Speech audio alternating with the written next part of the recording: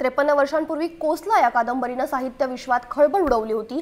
ज्येष्ठ साहित्यिक भालचंद्र नेमाडे यांची ही कादंबरी आता नाटक स्वरूपात प्रेक्षकांच्या भेटीला येणार आहे. आज संध्याकाळी पुण्यात याचा पहिला प्रयोग पार पडणार आहे. पाहुयात एक खास रिपोर्ट.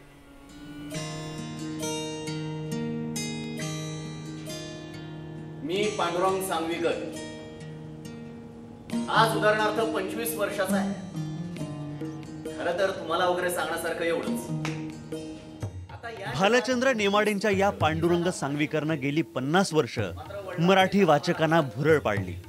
कोसला या कादंबरीचं गारुड आजही वाचकांच्या मनावर कायम आहे. या पन्नास वर्षात कोसला आणि नेमाडेंबद्दल उलट सुलट जेवढं लिखाण झालं तेवढं मराठीतल्या कुठल्याच पुस्तकाबद्दल आणि लेखकाबद्दल झालेलं नाहीये. तरीही कोसलाच्या नवनव्या आवृत्त्या निघणं सुरूच आहे. पण त्रेपन्न वर्षात पहिल्यांदाच कोसलाचं नाट्य रूपांतर प्रेक्षकांना चक्क पाहायला मिळणार आहे. आई म्हणते मी झोपेतून उठून सांगता येत नाही. असे खूप वगैरे बडबड करायचो.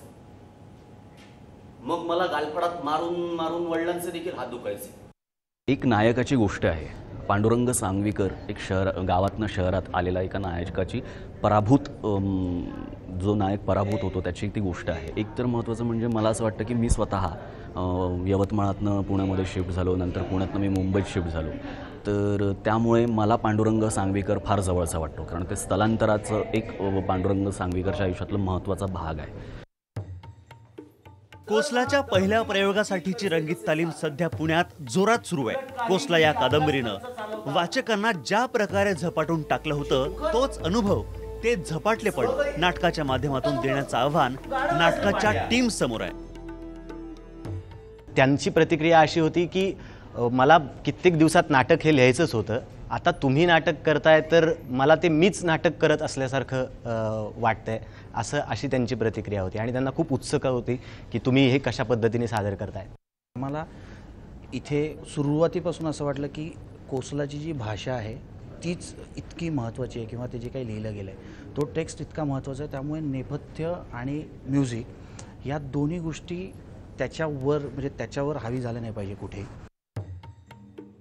कोणत्याही कादंबरीवर नाटक किंवा चित्रपट निघाला तर त्याच्या मूळ भागाशी त्याची तुलना होणं स्वाभाविक आहे.